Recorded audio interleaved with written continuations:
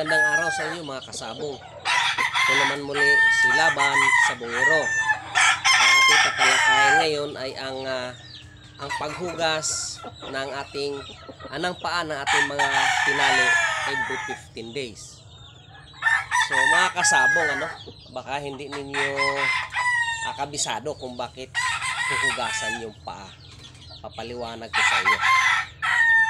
Mga kasabong, napakahirap pong tanggalin po ang ah, bakterya or yung tibak po sa paa. Ayan. So, ang pinaka the best po na ah, gamutan po ng tibak ng paa ay ang ah, prevention. I-prevent ninyo na hindi magkaroon ng tibak ang inyong mga manok pansabong. Through ah, paghugas po ng paa every 15 days para ah, walang bakterya ang kakapit. Bakit kamo? No? Mga kasabong, kung makita mo, ah, nasa flying pins, tumatay po yung mga, ah, umiipot po yung mga pansabong natin. So once na madapuan yan ng langaw, magkakaroon po yan ng infection. Ah, bacterial infection. So pag na-infect yan, at saka nasugatan po yung paa or yung talampakan po ng inyong manok pansabong ay may tendency po na ah, doon po magtago yung bakterya sa paa niya dahil nga naapakan yung ipot. So, magiging tibak yan. So, napakahirap pong kuhanin yung tibak. Considered na po na ah, paralyzed na po yung manok ninyo dahil masakit yan. Nagnanana po yan. So, ang pinaka the na remedy, lalo-lalo na sa mga backyard na kagaya ko, ay hinuhugasan ko po yung paa, yung mga ah, ilalim po ng ah, paa ng ating manok pansabong para iwas bakterya. Ganito po yan. May basahan lang po kayo at saka ah, langganang may tubig.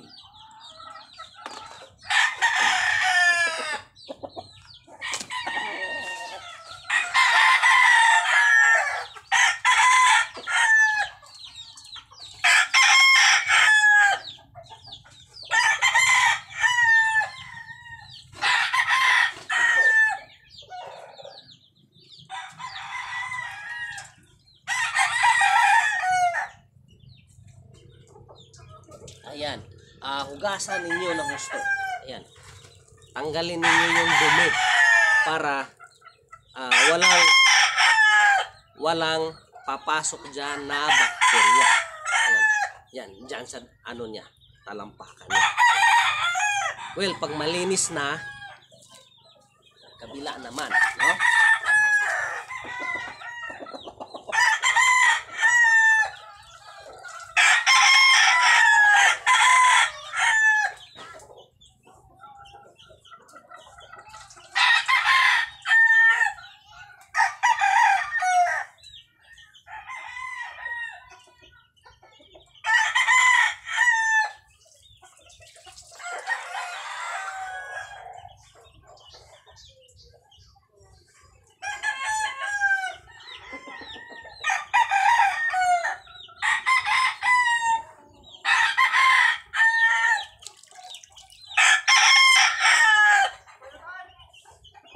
Yung manok natin, ah, kapanalo lang po sa, ayan oh, yung, ayan, yun po yung sugat niya sa may palasingsingan. Ayan. Kapanalo lang po sa 5 packs. Ayan po. So, kailangan nating linisan every 15 days para ma-prevent siya na magkaroon ng tiba. Pagkatapos po natin na malinis po, ay pwede po tayong maglagay ng ah, disinfectant. Ayan, disinfectant po, no? Use as disinfectant bleaching agent for treating or cleansing wound. Dilute with equal part of water. Pero pwede natin to. Hydro agwa oksinada po yan. Ayan. So, ganyan.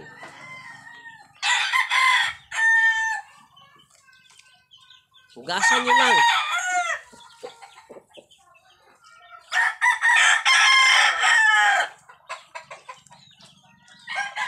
Ayan.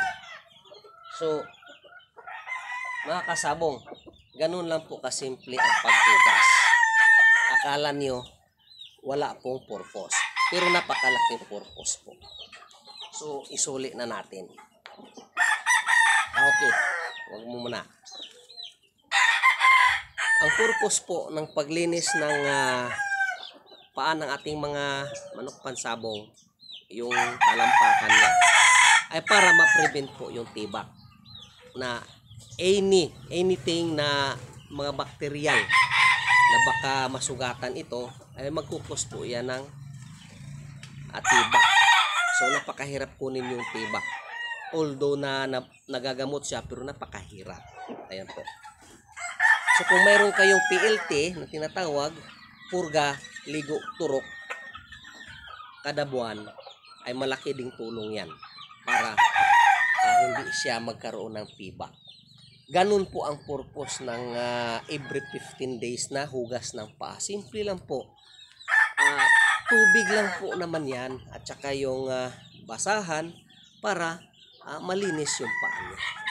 O kung mayroon kayong mga agua-oksinada, pang disinfectant, mas maganda. Tapos, balik ulit sila sa ah, kanilang flying fins o sa kulungan o kung saan ninyo ilalagay. Kasi po mga kasabong ano, ah yung ipot po ng ating manok pansabong pagka nadapuan po yan ng langaw ay magkakaroon po yan ng bakterya. Pag nagkaroon ng bakterya, pagka naapakan nila, tapos may sugat yung talampakan ng manok mo, it will cause tibak. So, yan po ang prevention po ng ating tibak. Pagkakaroon ng tibak ay ang paglinis po ng paa, paa every 15 days. So, every month po, ah, nagpapaligo kayo, every 15 days, nililinisan ninyo yung paa ng manok ninyo. Ayan mga kasabong, maraming salamat pala sa ating mga subscriber. Sa wala pa, mag-subscribe na kayo. Dahil lahat po ng itinuturo ko sa inyo ay ah, galing po sa pagiging handler ko at saka sa mga training center. Most especially sa Amerika po. Ayun tinuturo ko sa inyo. Lahat po ng ating tinuturo dito ay tungkol po sa cockfighting. So kung hindi naman kayo mahilig sa cockfighting, well, wag na po kayo manood sa ating video. Ganun lang po. Ang mga sabungero lang po na gustong ah, magkaroon ng ideas.